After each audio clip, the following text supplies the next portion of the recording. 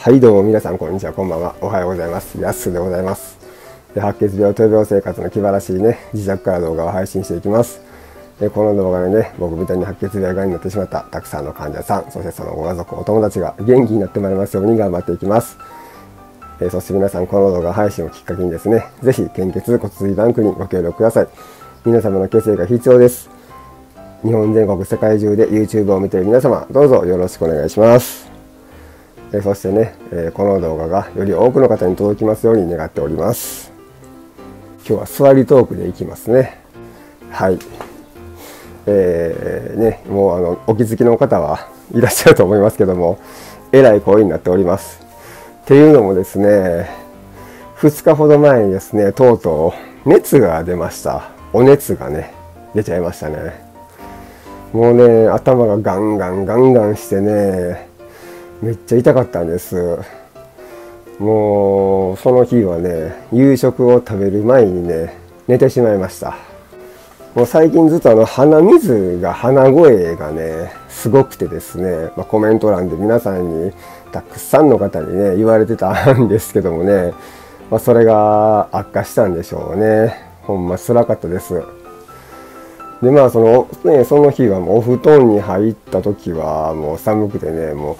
ガタガタガタガタとこう震えてましてねまあお布団入ってから3時間ぐらい経って、まあ、夕方からね3時間ぐらい経ってその息子がね、まあ、子供らがね寝る言うて寝る言うてってめっちゃ大阪弁ですけども寝るからね寝室に入ってきたわけですよね。そうするなり次男が僕の手をこう触るなりね「熱っ熱いで次は顔を触ってですよ。熱っ。えー、トータンめっちゃ熱いね。お医者さん行かなきゃってこう言うてくるわけですよ。うん、そやね、ありがとうってね、こう、まあ、弱っている時はね、子供というものは優しく接してくれるもんですね。まあ、ほんで、まあ、夜中3時ぐらいにね、これトイレにまた行きたくなりましてですね、まあ、それまですごいしっかり水分を取ってたんで、水をねペットボトル水買いだめしてるんでねペットボトルの500ミリを4本ぐらい飲みましたね、まあ、それトイレも行きたくなりますよね。でそれでねトイレに行きたくなったんで起きたんですけどねまだやっぱ頭がガンガンガンガンしてるんですよ。そんな状態なんでねこうトイレが遠く感じるわけですよね。もう床を這うようにこうほふ前進で行くような感じで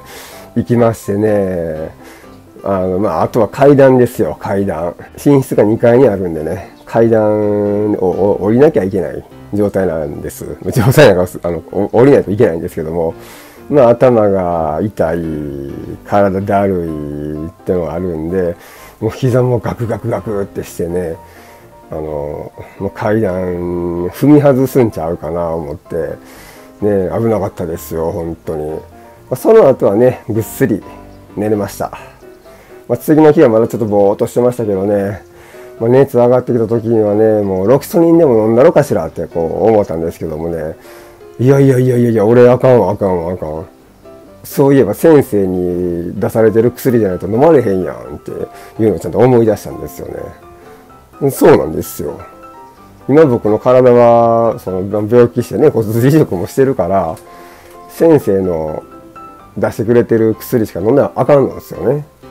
その病気になるまでにね大いに信頼を寄せてましたロキソニンがですよ。